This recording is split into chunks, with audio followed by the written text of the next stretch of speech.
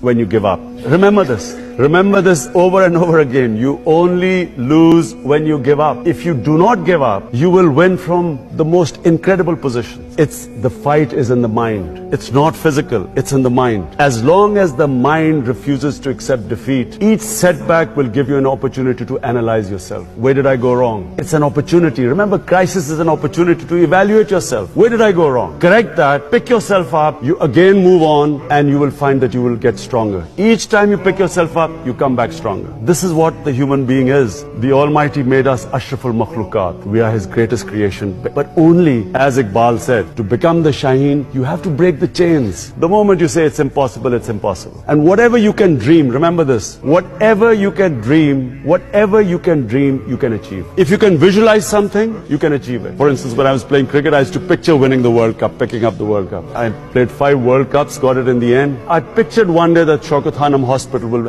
there'll be a grand opening, and I saw that. It happened. Against all, much more difficult than cricket. But I could never picture winning the elections. I couldn't picture it. Until when I was trying to sleep, and my, uh, before I go to sleep, I always assess the day. So I was just analyzing my day, and suddenly I pictured that there was celebration in Pakistan. In the streets, there were people celebrating what had happened. PTI had won the election.